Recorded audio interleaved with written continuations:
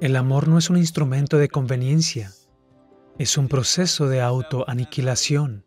¿Estás listo para de alguna manera deshacerte? Sabes que caer enamorado significa que algo de ti debe caer. Así que necesitamos entender esto. Si algo más grande que tú necesita sucederte, aquello que tú mismo has hecho de ti, es decir, tu creación debe deshacerse. Solo entonces algo de la creación del Creador te tocará. Estar enamorado significa solo que, que no se trata de tu pensamiento y emoción. Una dimensión más allá de ti se ha vuelto una parte de ti. Si madura, se convierte en devoción. Si madura más, lleva a la disolución. Entonces, que seas bendecido con esta posibilidad, que algo más allá de ti te suceda.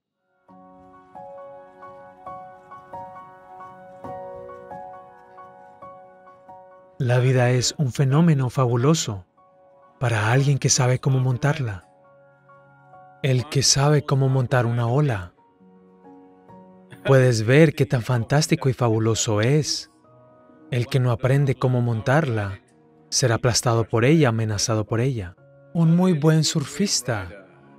Su sueño sería un tsunami. Lo que todo el mundo piensa que es un gran peligro, a él le gustaría surfear eso. Así que solo es cuestión de habilidad y competencia. Esto es de lo que se trata la sadhana espiritual. La espiritualidad no es una discapacidad, es un empoderamiento tremendo. Si haces la cantidad correcta de trabajo contigo mismo, puedes manejar y montar cualquier ola de la vida, de cualquier forma que venga. Es mi deseo y mi bendición. Cada uno de ustedes debe convertirse en surfistas, lo que sea que la vida te aviente.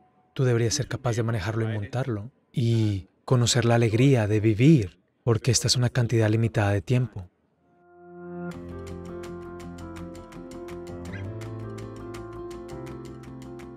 La ira no es una acción, es solo una reacción.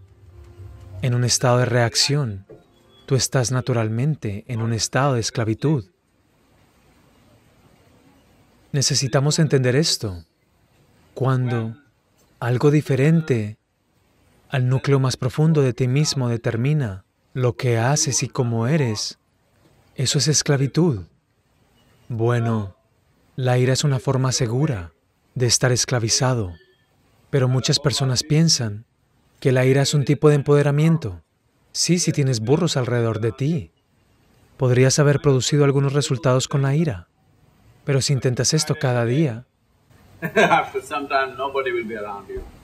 después de algún tiempo nadie estará a tu alrededor.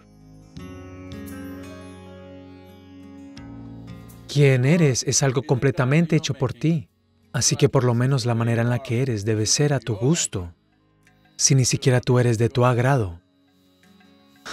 ¿Por qué debería soportarte el resto del mundo? Una cosa debes hacer. Esto es una responsabilidad fundamental. Y esto es algo que mereces, que tú debes ser a tu gusto.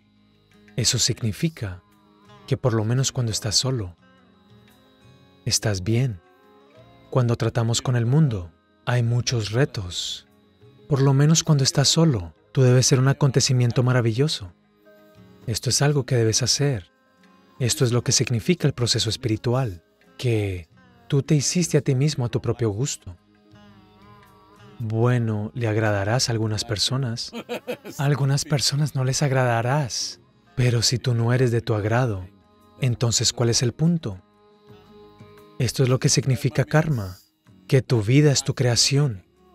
Haz que suceda, que tu vida sea una experiencia placentera para ti. Una vez que eso suceda, verás, de alguna manera serás del agrado de todos. Siempre habrá algunas personas a las que no les agrada nada. Está bien, son libres de hacer eso. Pero lo más importante es que tú estás sucediendo de la manera que quieres ser. Hagamos que suceda. Ingeniería interior, les digo, debes diseñarte a ti mismo de la manera que quieres. De lo contrario, ¿cuál es el punto de vivir aquí?